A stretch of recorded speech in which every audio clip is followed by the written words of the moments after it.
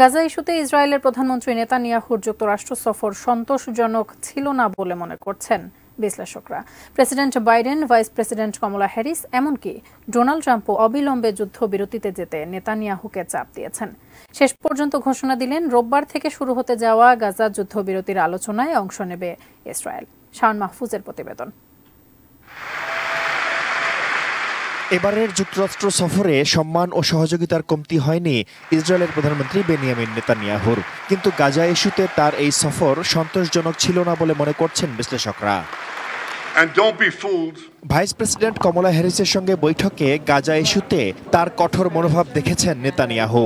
গাজাবাসীর দুর্ভোগ দেখে নীরব থাকবেন না জানিয়ে নেতানিয়াহুকে যুদ্ধ শেষ করতে বলেছেন কমলা। so we can get a ceasefire to end the war. একই সুরে কথা বলেছেন প্রেসিডেন্ট বাইডেনও।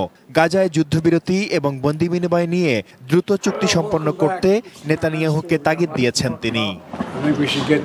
ফ্লোরিডায় মারে লাগো রিসোর্টে অনুষ্ঠিত বৈঠকে নেতানিয়াহুকে যুদ্ধবিরতিতে যাওয়ার ইঙ্গিত দিয়েছেন ট্রাম্পও। বলেছেন তিনি শান্তি চান।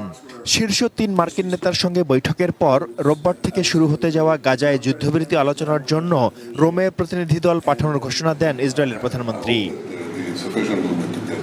এদিকে নেতানিয়াহু ও তার প্রতিরক্ষামন্ত্রী ইয়ফ গ্যালান্তের বিরুদ্ধে আন্তর্জাতিক অপরাধ আদালতের গ্রেপ্তারি পরোয়ানা জারিতে আপত্তি তুলে নিয়েছে যুক্তরাজ্য। অন্যদিকে, যুদ্ধবিরতির প্রচেষ্টা সত্ত্বেও রাফা খান ইউনিস সহ গাজা জুড়ে ব্যাপক হামলা অব্যাহত রেখেছে ইসরায়েলি বাহিনী। হামলার মুখে প্রাণহানির পাশাপাশি দফায় দফায় বাস্তুচ্যুত হচ্ছেন সেখানকার লাখ লাখ বাসিন্দা। আশঙ্কাজনক হারে কমে গেছে মানবিক ত্রাণ সহায়তাও। Shawon Mahfuz desk report ATN news.